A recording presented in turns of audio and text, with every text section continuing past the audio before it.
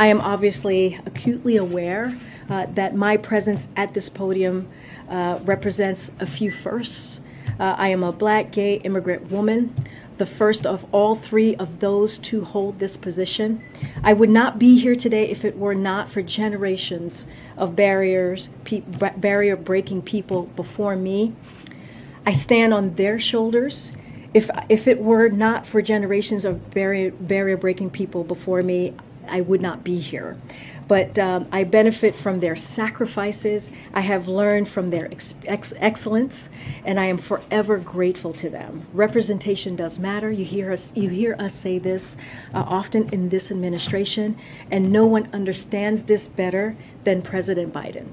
Boy, oh boy, oh boy. Um, there's this thing that's going on, an interesting trend in which foreign countries, uh, in their state-owned propaganda TV networks, are openly roasting the Biden administration, right? I mean, I did a story before about Saudi Arabia uh, in a TV news station owned by them. They had like an SNL type skit roasting him and Kamala Harris. Okay, uh, again, the Saudis, right? The Saudi government is supposed to be one of our allies, right? And they have a, a state-owned TV uh, show openly roasting the president of the United States, right?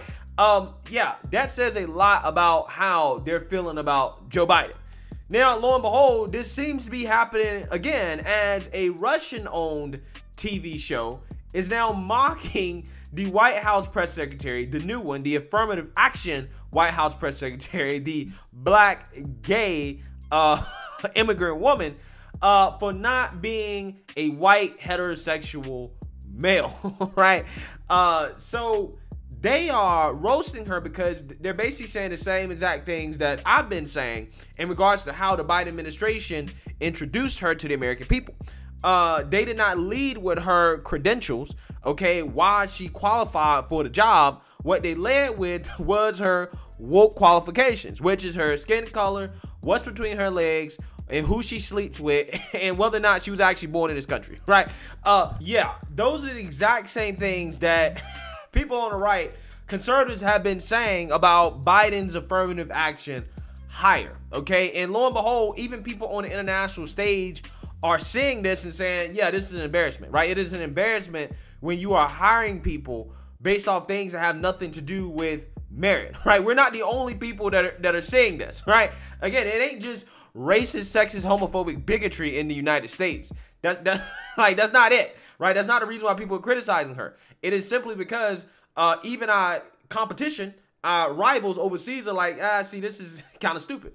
Okay, and they're doing this even amidst uh, allegedly losing a war in Ukraine. Um, so you know, hey, uh, it's one of those things that uh, again I want to talk about because I find it to be hilarious. But I started not to because I don't know, man.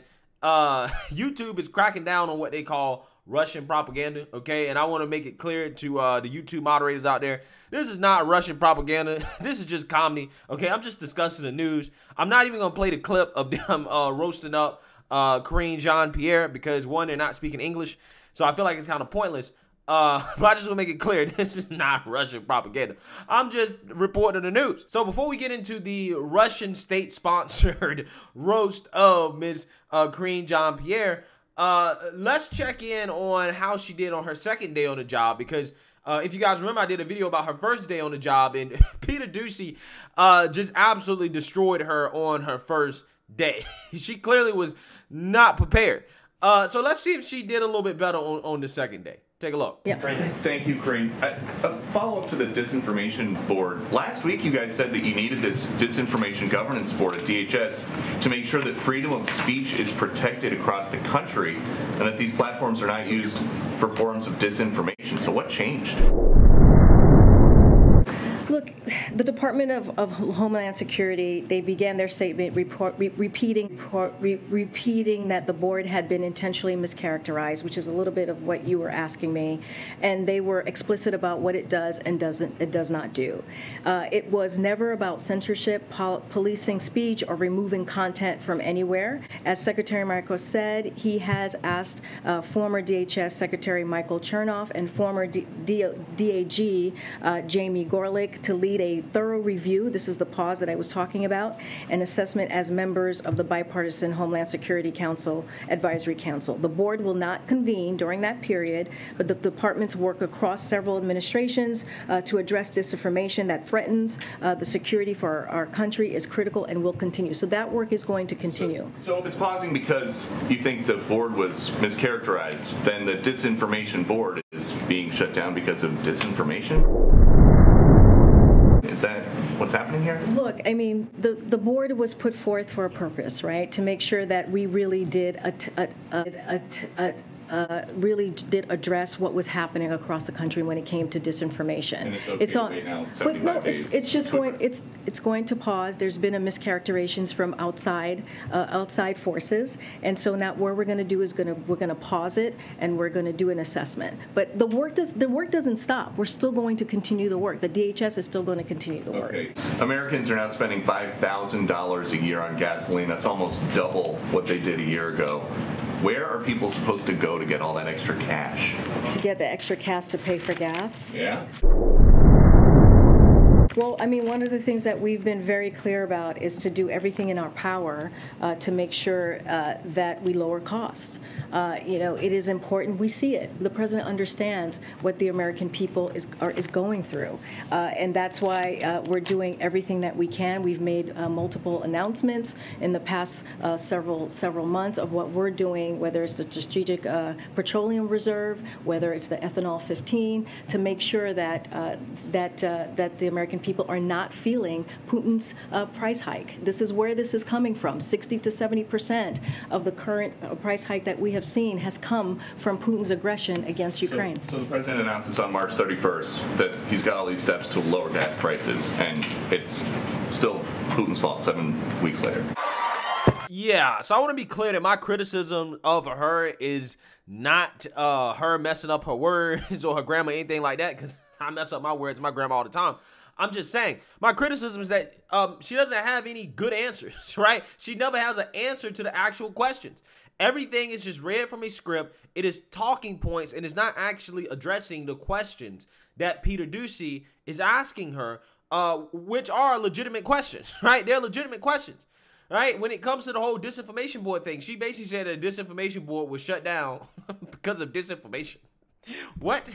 right? Ain't that's the purpose of the board, right? The purpose of the board uh, is to fight against disinformation. So you get your disinformation board shut down because of disinformation. Again, it makes no sense.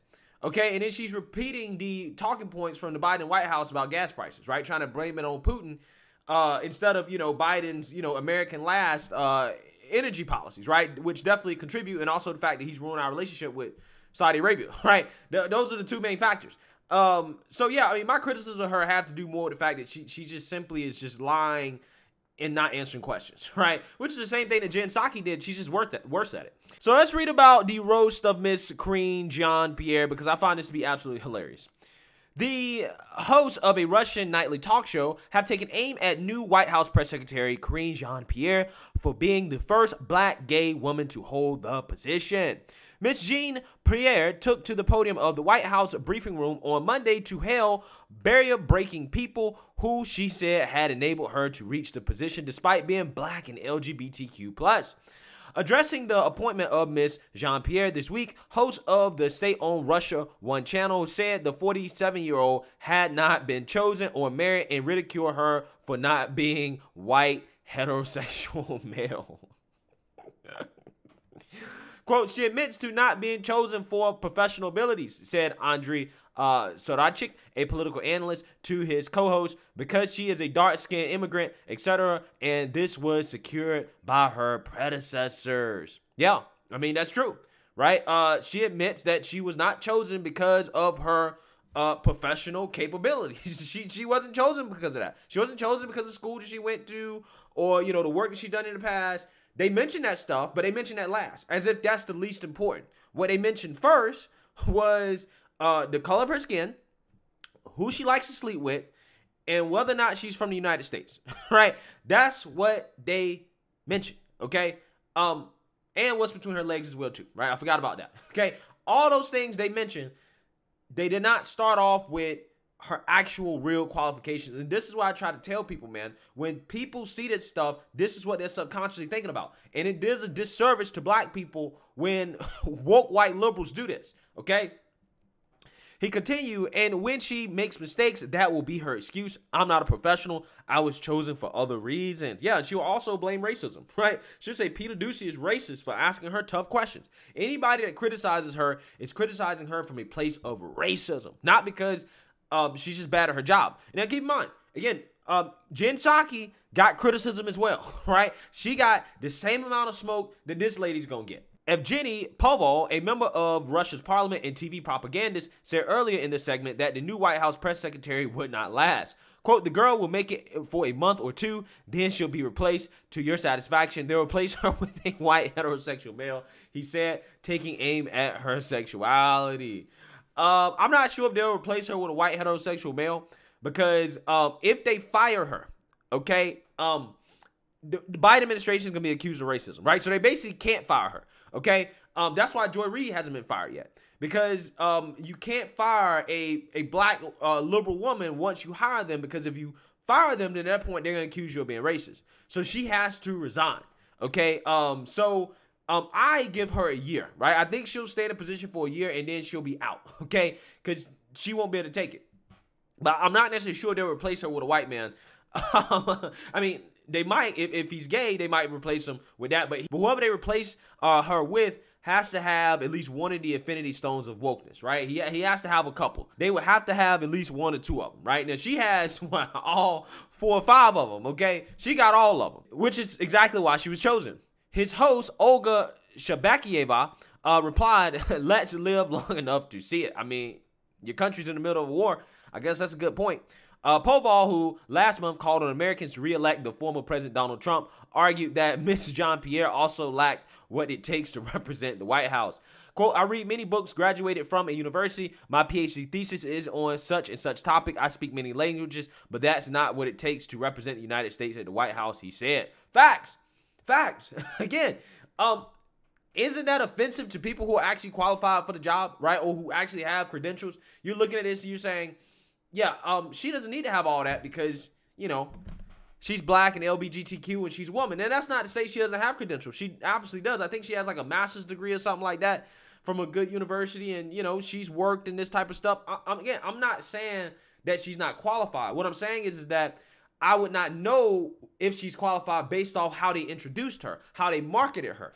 That's the problem. Okay. It's the same problem with Biden's affirmative action Supreme Court nominee. The only reason I'm saying that she's an affirmative action Supreme Court nominee is not because she's black and she's a woman, it's because Biden told us that she was an affirmative action Supreme Court nominee by telling us he chose her because she's black and she's a woman. It's really that simple. The host laughed as he said it was more important to look like her and added at least she's cute. Well, I don't necessarily know if I would uh, agree with that. I, I, don't necessarily find her to be very attractive, okay? And that ain't because she's black, right? It's not because she's black. I just don't, you know, she's just not my cup of tea. Uh, Daily Beast columnist Julia Davis, who shared the video with English subtitles late on Wednesday, described the attack on Miss Jean Pierre as pretty uh, typical for bigoted Russian television. Uh, quote, Kremlin propagandists on uh, Russian state TV give a warm welcome to White House Press Secretary Jean, Karine Jean-Pierre, wrote Davis, who monitors Russian media. This revealing clip reveals racism sexism and homophobia it's pretty typical for bigoted russian television but don't watch it if you have high blood pressure while dozens of Twitter users agreed with her analysis, uh, the journalist added that Fox News' Tucker Carlson had uh, similar issue, very similar statements last week questioning the new uh, press secretary credentials. Uh, Karine Jean-Pierre is our first LGBTQ plus White House press secretary. That's all you need to know. Carson told viewers, "It's a good thing. Shut up and celebrate. That's why she got the job." I mean, look, I'm saying the same thing, and I'm black, right? Am I racist? Am I a racist, sexist, homophobic bigot for saying that? No. Because objectively, anybody who's not caught up in woke wonderland uh, can see that you know what this person got the job because of uh, everything that has nothing to do with her actual real credentials, right? And I'm, again, I'm sick and tired of them doing this because it is a disservice to black people when Democrats and woke white liberals do this when they introduce their minority hires in a way that doesn't that, that doesn't highlight why they're actually qualified for the job, right? Things that actually have to do with why they got the job. Okay? Because it makes people think subconsciously, well, they only got the job because they're, you know, a woman or because they're black or whatever, okay? They're really doing a disservice to uh, qualified uh, black folks and so-called uh, non-white candidates out there. Okay, that's what what has happened, and even our foreign adversaries can see how ridiculous it is to hire people based off things that have nothing to do with merit. So let me know what you guys think. Make sure you like, comment, and subscribe. Most importantly, share a black conservative perspective. Peace.